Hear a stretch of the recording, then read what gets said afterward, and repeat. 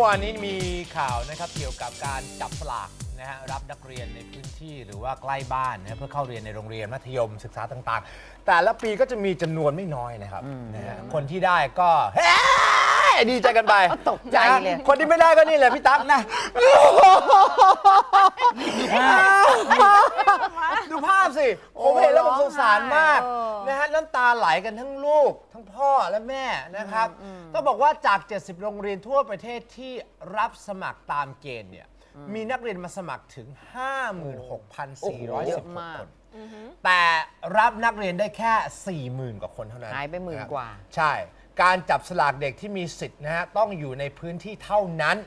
นอกเหนือจากการจับสลากส่วนใหญ่ก็ยังมีเขาเรียกว่าสอบวัดความรู้ แล้วก็ความสามารถพิเศษนะครับค่ะขออธิบายนิดนึงก่อนสำหรับคนที่อาจจะไม่คุ้นเคยกับระบบนี้ สมมุติอะบ้านคุณอยู่แถวไหน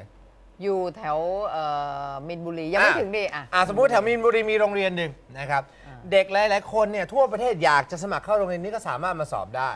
ถ้าสอบติดปุ๊บก็เข้าไปก็จะมีโควต้าถูกไหมครับค่ะแต่ถ้าสอบไม่ติดปุ๊บคุณก็สามารถที่จะไปจับสลากสำหรับเด็กที่อยู่แถวนั้น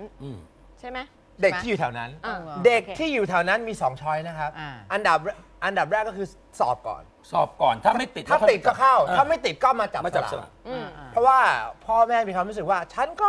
ควรจะต้องส่งลูกไปอยู่โรงเรียนใกล้ ๆ บ้านอืมถูกไหมอ่าอ่าไม่ควรจะต้องส่งไปไกลอ่าๆเช่นอยู่แถวมินบุรีทำไมจะต้องส่งไปแถวฝั่งทนอ่าอะไรประมาณเนี้ยนี่คือปูพื้นให้คุณผู้ชมเข้าใจก่อนสำหรับคุณผู้ชมที่อาจจะอายุมากแล้วไม่คุ้นเคยกับระบบ คือเอาง่ายๆคือระบบคือเด็กนอกพื้นที่เนี่ยคือสอบอย่างเดียวอ่า สมมติอะอย่างบ้านมาละขออนุญาตยกตัวอย่างว่าอย่างบ้านมามอยู่ลาดพร้าวเนี่ยหอวังเนี่ยแหละอ่า หอวังนี่เด็กทุกคนอยากจะเรียนหอวังหมดอืมอ่า หนึ่งใกล้ห้าง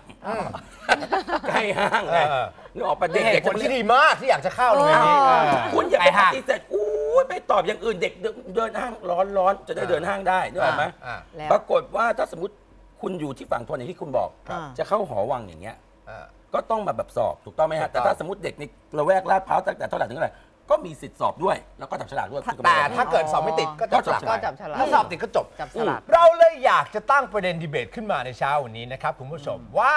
การจับสลากเข้าเรียนมีผลดีต่อเด็กหรือไม่ ขอทวนอีกครั้ง ว่าการจับสลากนะครับ เข้าเรียนเนี่ยมีผลดี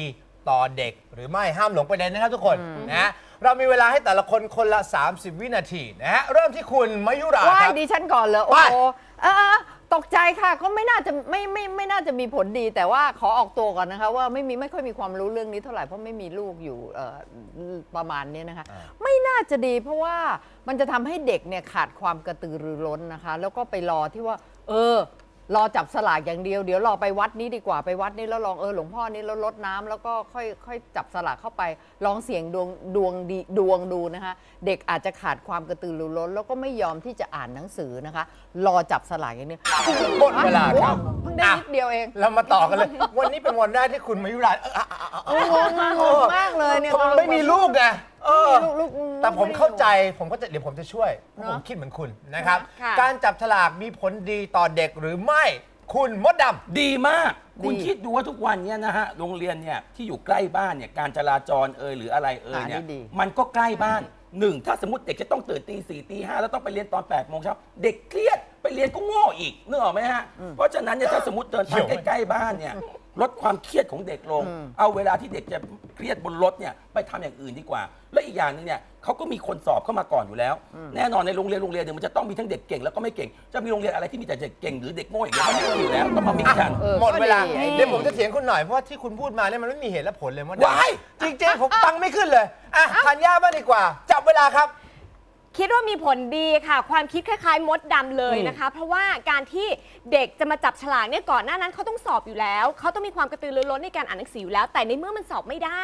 เขาก็มีโอกาสที่จะจับฉลากในในโรงเรียนที่อยู่ใกล้บ้าน อ่ามัมันทำให้ช่วยในเรื่องของการจราจรอย่างมาก อืม เพราะฉะนั้นเนี่ยที่คิดว่าการที่ให้เด็กจับฉลากเนี่ยพ่อแม่จะต้องคอย เตือนสติลูกว่าถ้าจับฉลากไม่ได้เนี่ยอย่าเสียใจจนเกินเหตุ เพราะว่าต้องเสียใจจากการสอบไม่ได้แล้ว เพราะฉะนั้นเนี่ยจะหมดเวลาครับเออผมขอทวนนะการจับสลากมีผลดีต่อเด็กหรือไม่ ผมขอตอบว่าไม่มีผลดีนะครับ คุณต้องคิดดูดีๆฮะเรากำลังสอนให้ลูกหลานหรือพ่อแม่ของลูกหลานแล้วเนี่ยแม้กระทั่งครอบครัวเนี่ยทุกวันนี้ไปพึ่งพระต้องหาเช่าพระ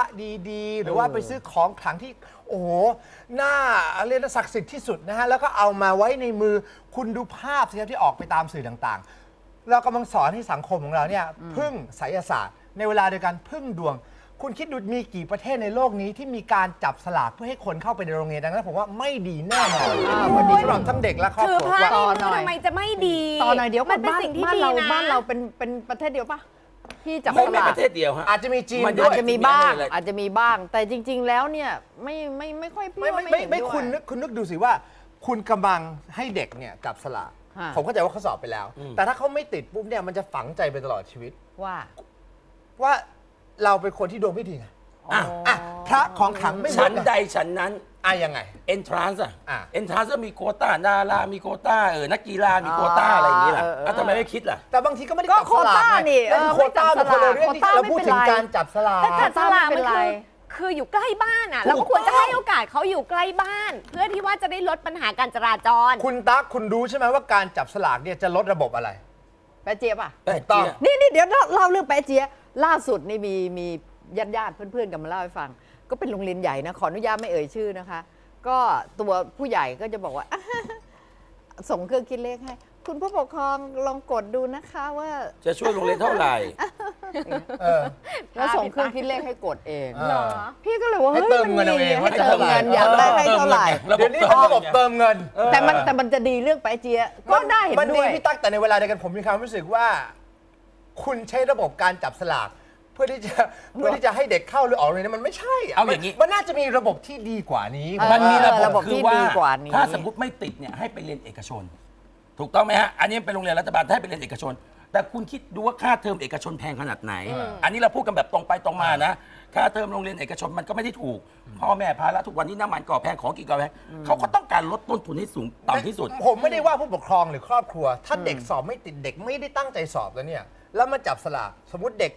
อาจจะเรียนไม่เก่ง เออ เข้าไปคล้ากับเด็กเก่งปุ๊บอ่าแล้วเนี่ยโรงเรียนบางทีไม่ได้ก้าวหน้านะฮะ มันถูกดึงลงมาด้วยอ้าวซ้ำไป แล้วอย่างนี้เด็กที่ไม่เก่งเขาเขาก็หมดโอกาสสิไม่หดโเราต้องแก้ที่จะแก้ที่บ้านเราแล้วแหละเอาอย่างนี้ดีกว่าแก้ที่นี่ผู้ปกครองอย่าเพิ่งสรุปอย่าเพิ่งสรุปแก้แก้ยังไงแก้ที่ผู้ปกครองเออ ต้องผลักดันให้ลูกเก่งให้ได้ใช่ตั้งคือใจต้องให้สอบได้ต้องตั้งใจสอบให้ต้องได้ ตั้งใจให้ได้ คือ SMS มาในเช้าวันนี้บอกว่าการสอบอาเด็กจะรู้สึกว่ามีคุณค่ามีสติปัญญาใช่ นะครับ เออนะอนาคตผมว่าจะเปลี่ยนอีกแล้วเปลี่ยนอยู่แล้ว ผมว่าบ้านเราเนี่ยเปลี่ยนทุก ๆ หลาย ๆ ปี เออเออเออเอาอย่างนี้ทุกปีวัหน้านจะเปลี่ยนไหเดี๋ยวมเดี๋ยวไม่แน่เดี๋ยวใจอีกนิดหนึ่งพี่พี่ขอแย้งเรื่องคละของของของอะเด็กเนี่ยนะครัคะบ เห็นด้วยนะคะไม่ใช่ว่าเด็ก king ก็จะไปอยู่ king หมดห้อง king ห้องหนึ่งแล้วไอ้ห้องห่วยทั้งหลายก็จะมาอยู่ห้องห่วยตรงนี้ไม่ควร ควรจะมีคละ Mix บ้างอ่า mix กัน เพราะว่าถ้าเขาถ้าเขาเรียนไม่ดีเลย แล้วเขาไปอยู่กับ ห้องที่ดีเขาก็จะมี pressure เออก็ควรจะมีตรงกลางด้วย เพื่อที่จะให้เขาอยู่ mix กันให้เด็กเนี่ยช่วยจูงกันไปในทางที่ดี ไม่ใช่แย่ก็แย่หมดจริงอะพี่เห็นด้วยข้อนี้ จริง ๆ คือแบบว่ามันไม่มีมันไม่เป็นไปไม่ได้ที่เด็กเก่งจะต้องเก่งแต่ทุกวันนี้มันคืออะไรรู้ไหมฮะค่านิยมอืมอู้ตายเรียนโรงเรียนนี้แล้วเก๋เออคุณก็ไปเปลี่ยนทุกค่านิยมก่อนสิว่าเรียนโรงเรียนนี้แล้วเก๋จบจากที่นี่แล้วมันเก๋ยากแล้วนะมันยากนิมหลานยผมกมีเคสพิเศษนะอืมทำไมอยู่ต่างจังหวัด และพ่อแม่เขาเนี่ยอยากจะให้มาเรียนในกรุงเทพ ก็เลยสอบแถวบ้านผม สอบติดนะครับ แต่ไม่เรียนอ้าวทำไมอะ ทำไมกลัอะ บมาร้องไห้ เพราะครูดูถูก เพราะว่า ผมเป็นเด็กต่างจังหวัด จริง เห็นไหมเหมือนกับเป็นอย่างเงี้ย เหมือนกับว่า อ๋อ หนูเป็นเด็กต่างจังหวัดเหรอ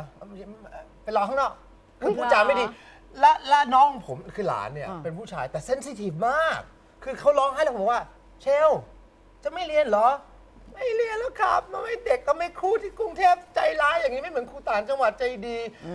นี่คือเล่าให้ฟังมีบางคนที่เขาสอบได้แล้วเขาก็ไม่เขาก็ไม่เรียนด้วยเหมือนกัน แต่พูดถึงเรื่องนี้แล้วระบบการสอนพี่ตั๊กผมเพิ่งนึกขึ้นได้ว่าวันนี้เนี่ยอันตรายมากนะครับ ระบบการเรียนของเด็กเนี่ยทุกสิ้นปีคือยังไงจะมีการสสออบบก็แบบขอคองออ่าถูกต้องมันวัดอะไรมดดำก็วัดว่าจำอะไรมาได้บ้างอ่าว่าจะอะใช่ไหมล่ะอู้อ่านหนังสือตีสามตีสี่กันเด็กอู้พี่ตายละ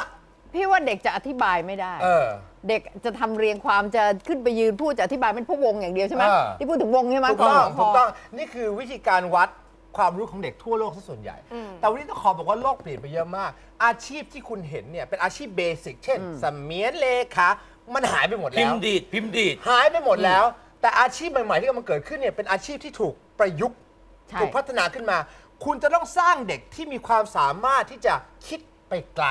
คิดแบบผู้นำไม่ใช่เป็นผู้ตาม แต่ระบบการสอนทั่วโลกโดยมากส่วนใหญ่แล้วเนี่ยยังเป็นระบบที่สอนให้เด็กคิดแบบง่ายๆ คิดแบบเบสิกแล้วพอจบมาจบม .6 หรือจบระดับอุดมศึกษาปรากฏว่าไม่มีงานทำไม่ แล้วคุณรู้ไหมว่าเด็กในยุคปัจจุบันเนี่ยเขาจะไม่ทำงานออฟฟิศแล้วเออเขารอที่จะเป็นเจ้าของธุรกิจถูกเขาจะมีเงินก้อนหนึ่งแล้วก็เข้าไปเล่นหุ้นไป ทำอะไรคือจะเป็นเจ้าของธุรกิจในอายุ 20กว่าเอาอย่างนี้ดีกว่า เด็กในยุคปัจจุบันมันเปลี่ยนไปแล้วทุกนเยนะอันนี้ขอเป็นเป็นข้อมูลที่เคยอ่าไปศึกษามาไม่ได้ศึกษาเคยไปดูมาจริงๆเลย คุณรู้ไหมฮะว่าอะถ้าที่จริงแล้วเนี่ยการที่จะมาจับฉลากเข้าม4ม5ม6ทุกวันเนี่ยสายอาชีพ จบปุ๊บหรือเขาเรียกว่าอะไรนะเออพวกเออเขาเรียกว่าอาชีวะอะอาชีวะคุณรู้ไหมมีไหมอาชีวะเนี่ยเรียนจบปุ๊บ มีบริษัทรองตัวเลยนะอ๋อแต่ค่านิยมของคนว่าอ้วตายส่งลูกหลานไปเรียนอาชีวะตัวแบบเป็นเออรุ่คนจะไม่น่าคนจะไม่ส่ง แต่ความจริงแล้วคุณวันนี้คุณเรียนอาชีวะปุ๊บเนี่ยบริษัทใหญ่ๆเนี่ยเขารอซื้อตัวคุณเลยอืมคุณนึกถึงบริษัทแต่เดินแต่พ่อแม่ไม่กล้าส่งไม่แต่วงเล็บนะคะขอวงเล็บขอให้เรียนให้ดีเรียนให้เก่ง ถ้าคุณเรียนดีได้เกรดดี จะมีบริษัทใหญ่มาจิ้มไว้เลยอืม เดี๋ยวนี้เขาจะมาจิ้มตามองค์กรเหล่าคือนี้คือถ้าลูกคุณคุณเห็นแววเนี่ยส่งเสริมทางด้านนั้นเลย ตอนนี้ที่เมืองนอกเนี่ยเด็กอายุสิบกว่าขวบเขาให้เรียนเรื่องหุ้นแล้วนะให้เรียนเรื่องการบริหารถูกว่าจบปุ๊บเปิดบริษัทบริหารเลยเออไม่ต้องมาไต่ระดับถูก ไม่ต้องถ้าคุณคิดว่าไอ้ลูกอายุสิบกว่าขวบปล่อยไปก่อน ปล่อยไปตามระบบ 18 ค่อยมาว่ากันไม่ใช่แล้ว นี่นี่นี่เดี๋ยวเรามาดู SMS บ้างดีกว่าอะเขาคิดว่ายังไงว่าไงบ้างบอกว่าไม่จำเป็นต้องจับฉลาก เพราะว่าเป็นแค่การวัดดวงเออจับฉลากไม่ดีต้องสอบถึงจะยุติธรรมถูกอันนี้เป็นความคิดเห็สนรุปของนิดนึงคนดีกว่าทเอางเป็นบ้ว่าเยาวชนก็เป็นกำลังสำคัญของชาติในค่ะอนาคตนะฮะเราทุกคนอยากเห็นเด็กๆเนี่ยประสบความสำเร็จเป็นเด็กที่ได้รับการเรียกว่าได้รับการศึกษาอย่างมีคุณภาพค่ะนะครับวอนให้ผู้ใหญ่ดูแล ด้วยนิดหนึ่งนะคผู้รับใหญ่ผู้ใหญ่สำคัญที่สุด